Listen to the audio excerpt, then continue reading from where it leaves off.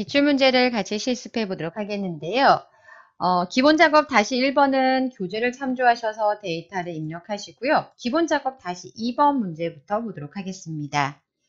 첫 번째, 제목에 대한 서식을 지정하기 위해서 P1부터 H1까지 선택하신 다음 홈에서 맞춤에서 가운데 맞춤, 병합하고 가운데 맞춤이라는 도구를 클릭합니다. 다음 글꼴 탭에서요. 홈의 글꼴 탭에서 크기를 20으로 지정하고자 합니다. 글꼴 크기 20.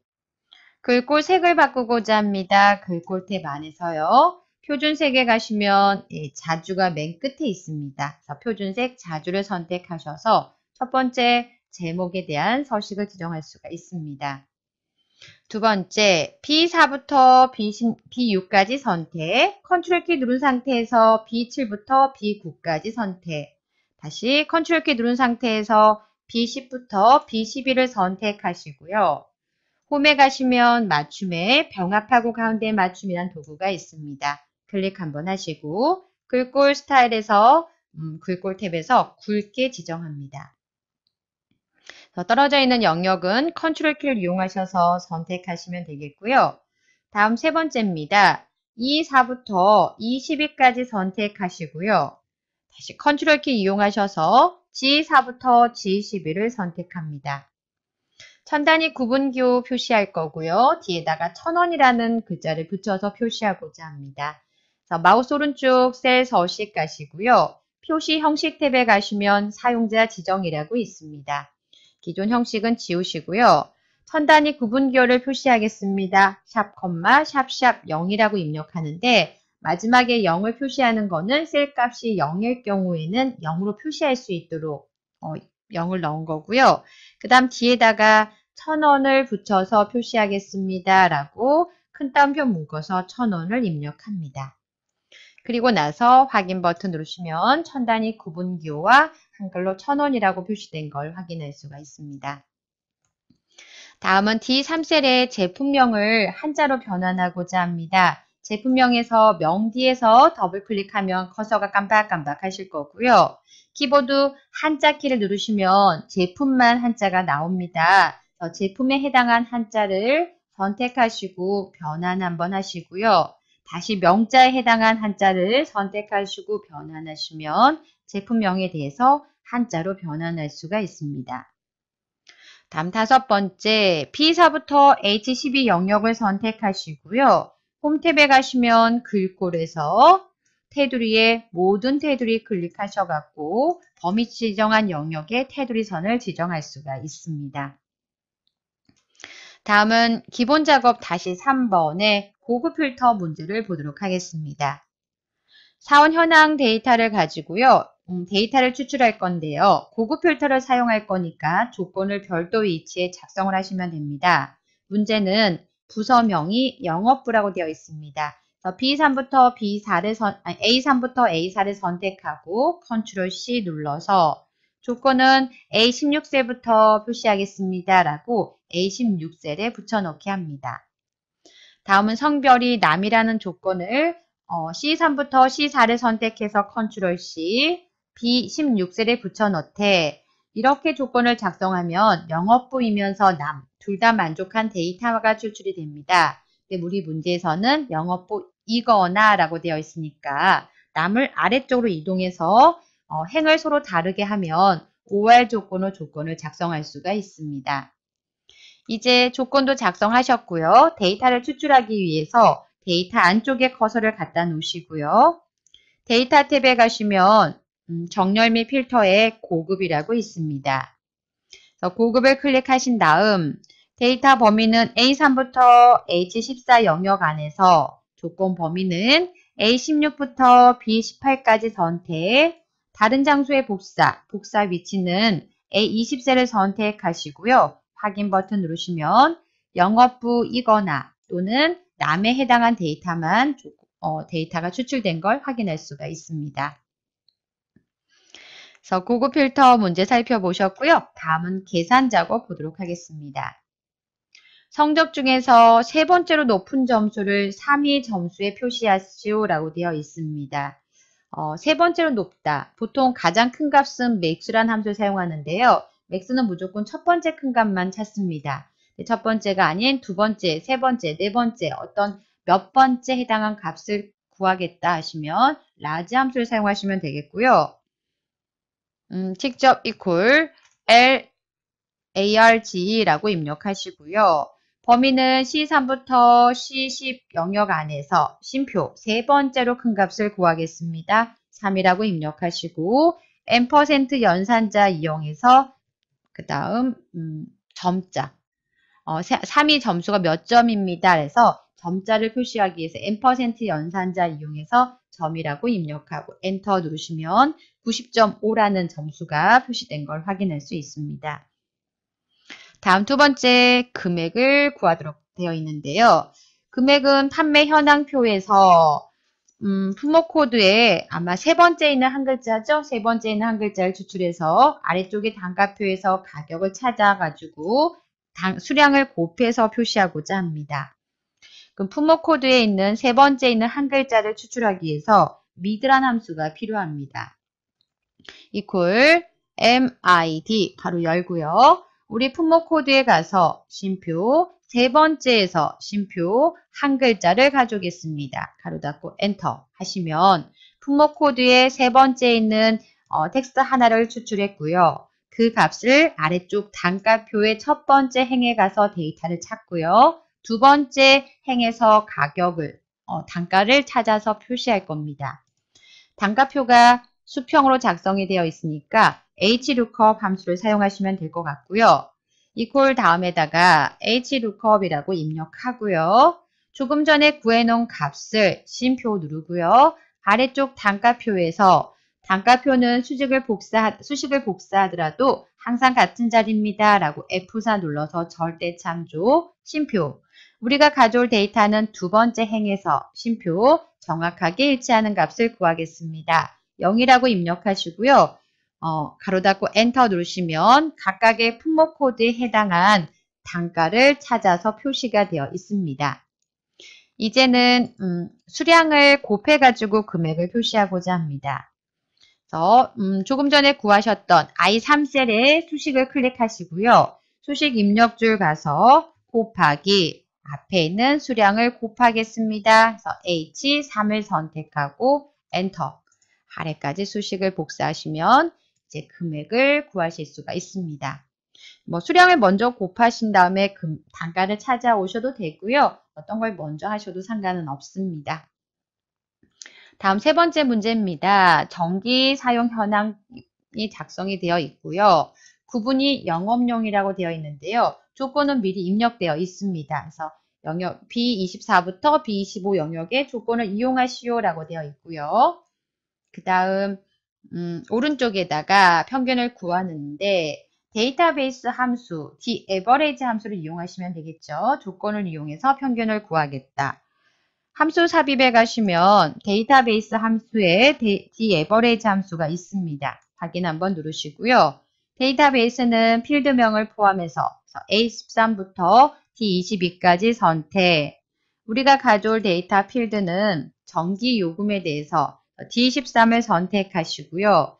조건은 구분이 영업용입니다. 라고 B24부터 B25를 선택하고 확인을 누르면 영업용 전기 요금의 평균이 구해져 있습니다. 네, 문제에서 구한 값을 100의 자리에서 올림해서 표시하시오 라고 되어 있는데요. 이퀄 다음에다 마우스 갖다 놓으시고요. 올림하는 함수는 roundUp 함수입니다. 그래서 R-O-U-N-D UP란 함수 선택하시고요. 어, roundup 안에는 숫자가 첫 번째 들어가니까 맨 뒤에 가서 쉼표 우리는 100의 자리에서 올림하겠습니다. 라고 1의 자리가 마이너스 1, 10의 자리가 마이너스 2, 100의 자리는 마이너스 3이라고 입력하시고 엔터 눌러서 예, 수식을 확인해 보시면 되겠습니다. 다음 네 번째입니다. 비고를 구하는데요. 중간 수행 기말고사의 데이터가 있습니다.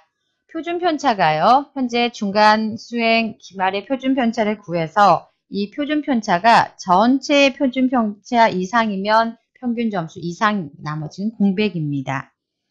먼저 제15셀을 선택하시고요. 이퀄 표준 편차를 구하겠습니다. stdev 함수 입력하시고 가로 여시고요. 중간고사 수행평가 기말고사 점수가 있는 G15부터 I15를 선택하고 엔터. 그럼 현재 점수의 표준 편차가 구해져 있습니다. 여기서만 사용할 건 아니고 조건도 작성하셔야 될 것 같고요. J15셀의 앞에다가 이퀄 다음에 if 만약에요. 제 표준 편차가요. 조금 전에 구해놓은 값이요. 크거나 같습니까? 누구하고 크거나 같냐? 전체 표준 편차를 구하기 위해서 stdev 가로 열고요. 전체에 해당한 표준 편차는 G15부터 I21까지 모두 선택하되 수식을 복사하더라도 전체 표준 편차의 위치는 동일합니다. F4 눌러서 절대 참조, 그리고 나서 가로 닫고 전체 표준 편차보다 크거나 같다면 저희는 평균 점수 이상이라고 표시할 거고요. 그렇지 않다면 공백으로 처리하겠습니다. 라고 큰 따옴표 열고 닫고 하시고요. 가로 닫고 엔터. 그 다음 아래까지 수식을 복사해 보시면 되겠습니다. 평균 점수 이상 데이터가 두 건 표시가 된 것 같습니다. 이제 다섯 번째 문제입니다. 다섯 번째에서는 어, 사원번호, 네, 사원번호에서요, 네 번째 있는 문자가 1이면 총무부, 2면 관리부, 3이면 영업부, 4면 생산부입니다. 그래서 어, 사원번호에서요, 네 번째 있는 한 글자를 먼저 추출하도록 하겠는데요. C29셀에 커서를 갖다 놓고요. MID 함수입니다. 가로 열고 사원 번호에 가서 네 번째에서 심표 한 글자를 가져오겠습니다. 2라는 값이 구해져 있고요. 아래까지 수식을 복사하면 음, 네, 1, 2, 3, 4까지 데이터가 있습니다. 그래서 문제에서 미드 함수와 추주 함수를 통해서 이제 1부터 4까지 값을 부서명을 표시하라고 했는데요. 어, 식 29세 선택하고 이꼴 다음에다가 추주. 추주 함수는 가로 열고 숫자가 들어가는데 조금 전에 숫자는 구해놨습니다. 그 다음 심표. 숫자의 값이 1이라면 저희는 총무부라고 할 거고요. 큰 따옴표 묶어서 처리를 하십니다. 2라면 관리부, 쉼표, 3이라면 영업부, 4라면 생산부라고 하겠습니다.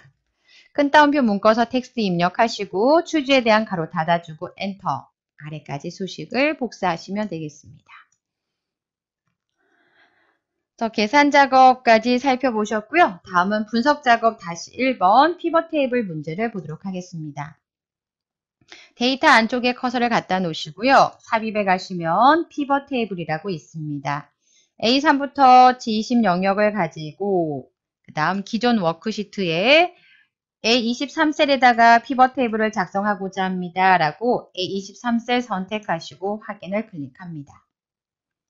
그 다음 문제에서 대리점은 행 레이블에 대리점을 선택하시고요. 행 레이블로 드래그 하시고요. 차종은 열 레이블, 열 레이블에 드래그 합니다. 다음 데이터에다가는 목표량, 목표량을 선택하시고 판매량 선택하셔서 값으로 그 다음 목표액 다시 선택하시고 값에다가 매출액 선택하시고 값으로 드래그 합니다.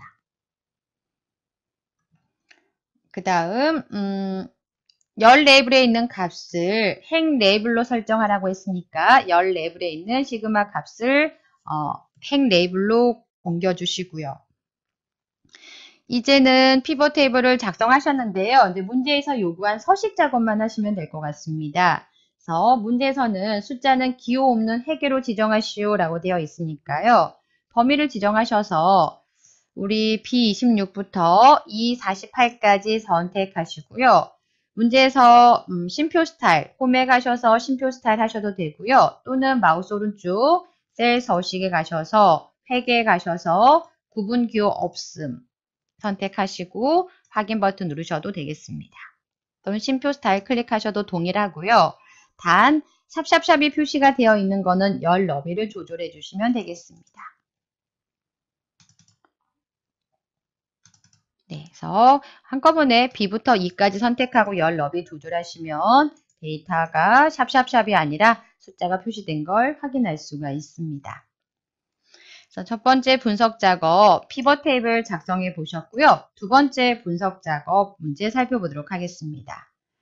데이터 통합 문제고요. 데이터 표 1, 표 2, 표 3에 있는 데이터를 오른쪽에 1, 4분기에다가 문제에서 평균을 구하라고 했습니다. 그렇다면 어, 평균을 구해서 표시할 위치 F10부터요. F10부터 I15까지 선택합니다.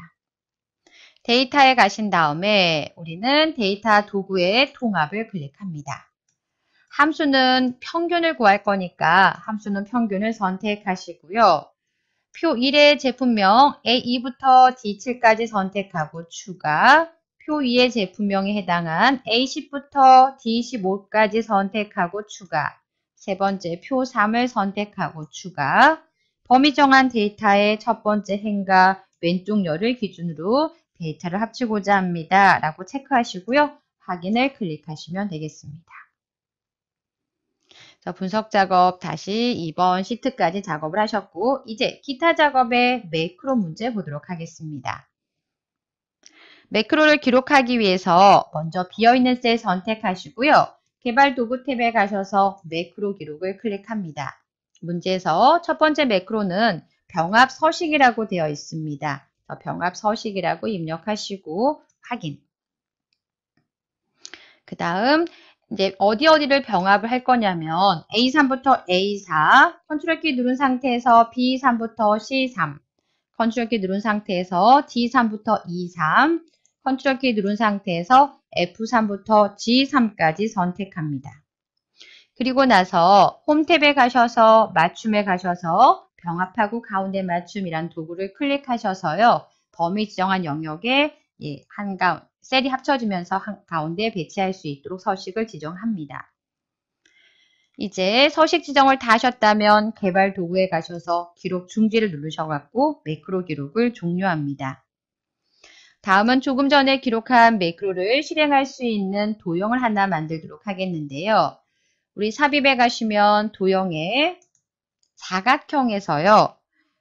음, 대각선 방향의 모서리가 둥근 대각선 방향의 모서리가 둥근 사각형을 이용하라고 했습니다. 대각선 방향의 모서리가 둥근 사각형.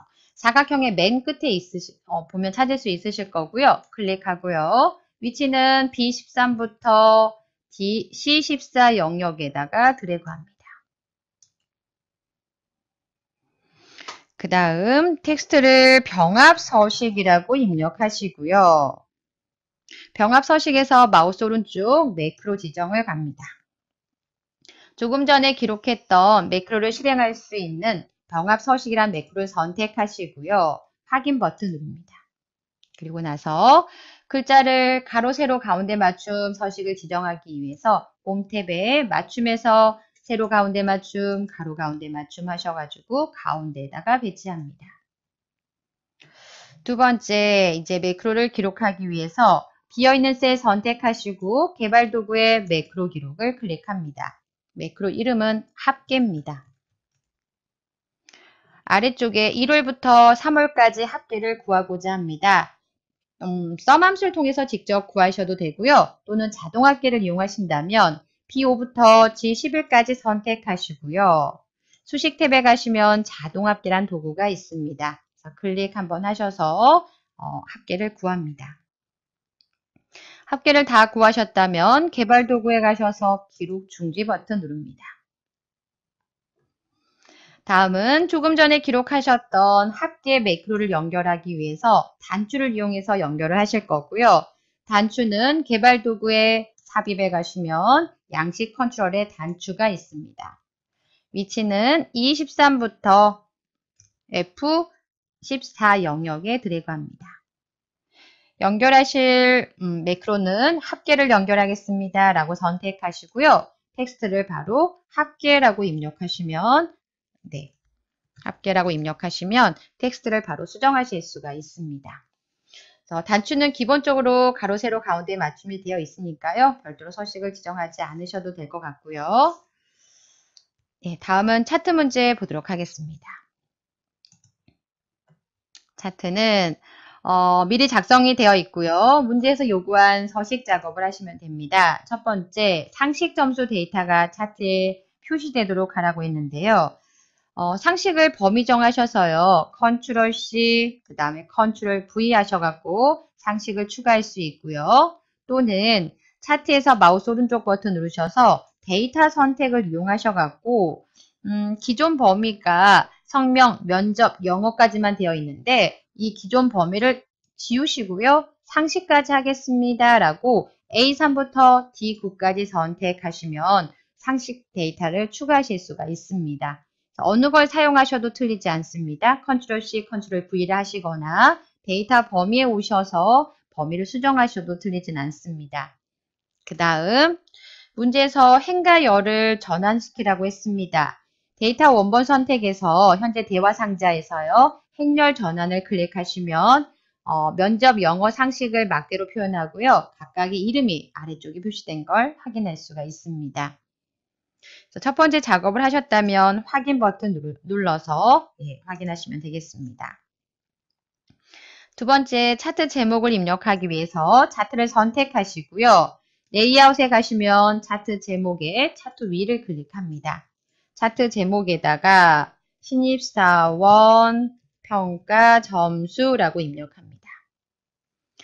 그 다음 축 제목을 입력하기 위해서 축 제목에 가셔서 기본 가로축 제목에 축 아래 제목을 클릭합니다. 그리고 나서 성명이라고 입력합니다. 다시 축 제목에 가셔서 기본 세로축 제목에 문제 세로 제목 선택하시고요. 텍스트를 점수라고 입력합니다. 다음 세 번째 문제입니다. 데이터 레이블을 표시하는데 바깥쪽 끝에 표시하라고 했습니다. 차트 도구의 레이아웃에 가셔서 데이터 레이블에 가셔서 바깥쪽 끝에 선택하시면 레이블의 값을 표시할 수가 있습니다. 다음은 음, 범례 위치를 위쪽에 배치하기 위해서요. 범례에 가셔서 위쪽에 범례 표시 선택하시고요. 다시 범례를 선택하신 다음에 어, 서식을 지정하라고 했습니다. 디자인 탭에 가셔서요. 아니 서식 탭에 가셔서요. 차트 도구의 서식 탭에 가셔서 도형 스타일에 가신 다음에 미세효가 강조 1이라고 되어 있습니다. 미세효가 강, 파랑색 강조 1을 선택하시면 되겠습니다. 미세효가 파랑 강조 1 클릭하시면 범례에 대한 서식을 지정할 수가 있고요. 이제 차트 영역 서식에 대해서 어, 둥근 모서리로 설정하시오 라고 되어 있는데요. 차트 안에서 마우스 오른쪽 차트 영역 서식을 클릭합니다. 그 다음 테두리 스타일에서 둥근 모서리 체크하시고요. 닫기를 클릭하시면 문제에서 요구한 다섯 개의 서식, 데이터 수정하시고 제목 넣고 서식 작업하실 수 있습니다. 여기까지 기, 어, 기출 문제 살펴보셨습니다. 수고하셨습니다.